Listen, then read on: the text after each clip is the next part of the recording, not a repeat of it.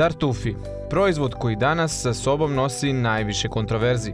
Naime, činjenica je da je to gljiva koja predstavlja izuzetno cenjen i pre svega skup delikates, ali takođe je i činjenica da proizvodnja i prodaja tartufa vrlo često zalazi u sivu zonu ekonomije.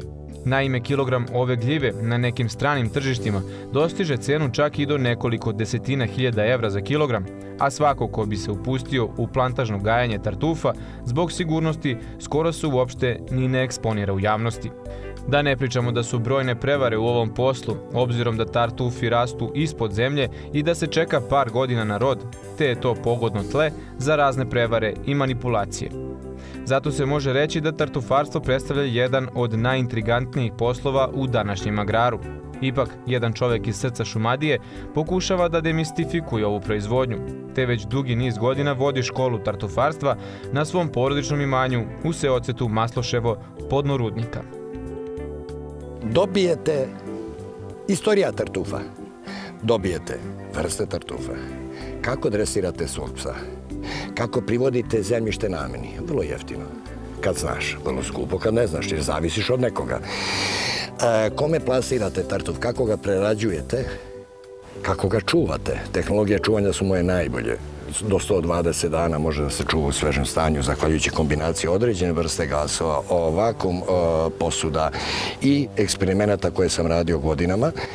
I kada sve to dobijete, kako da od jednog malog broja sadnica napravite sami preko tog sekundarnog micelima, takozvane kontaktne mikorize, kako ja zove, invazivno kontakte, sa možemo da je krstimo bilo kako, ali suština je sledeća. Od jedne sadnice posle par godina, izvesno broja godina, kad krene sekundarni micelijum, ta jedna neoplemenjena, prethodno pripremljena sadnica tu dobiju u školi, kako je pripreme, isto se banalno rečeno zarazi, ne, nije ona patogen, ona se oplemeni.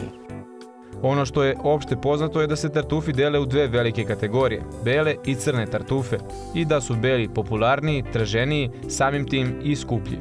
Ipak Radoslav nam kaže da ima mnogo podela između belih i crnih, te da je tuber magnatum pico vrsta belog tartufa koja se najskuplje plaća.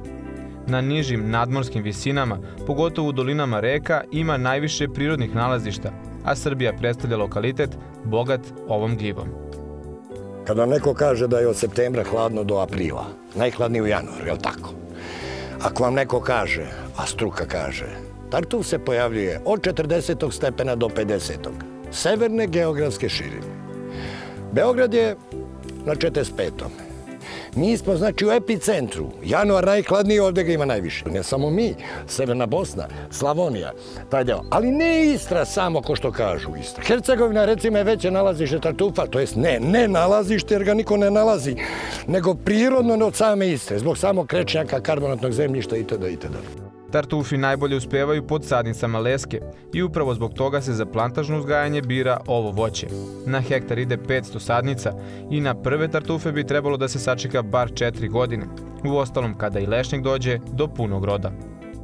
Pitaju čoveno, je li čato, kad ostane mali tartuf, ili on nabubri pa poraste? Ne, ljudi, kad je kruška žuta, ona je žuta, da li je mala ili velika?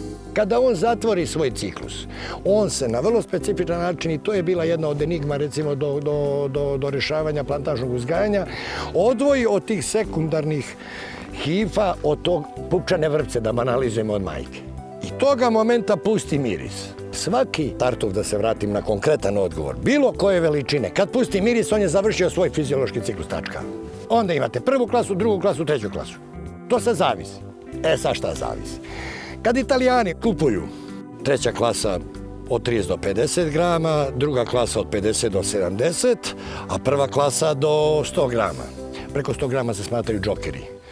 To su ekstra klase. Ranije se to smatraju u Jugoslaviji 200 grama. To su sad stvar trenutne potražnje i ponude kao tržišta.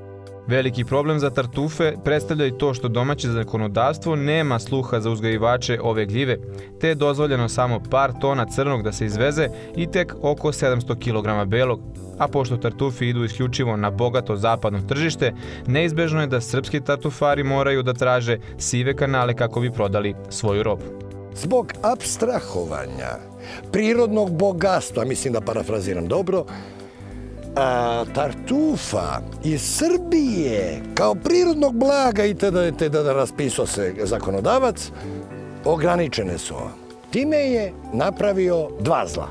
Prvo zlo, neznanje kao zlo, i ostavio je tartufe da se u srostvu sami oplemenjavaju, to jest da se mešaju. Šta to znači? Ostavi jedno stado ovaca, gde će mužjak u tom stadu da skače posle treće generacije i na sestre i na majke i ovam i doći će do degeneracije. Na kraju podsjećamo da je tartufarstvo proizvodnja koju još uvek treba uzimati sa velikom dozom opreza. U svakom slučaju deluje da Radoslav može da vam približi ceo taj svet, ali i njegova poruka svima koji bi ikada pomišljali da uđu u ovaj biznis jeste da treba da sumnjate u sve i svakoga. Tek tada ste na dobrom putu.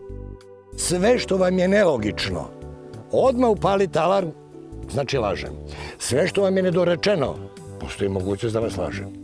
Sve što kažem nije to tako, a ne kažem kako je. Lažem.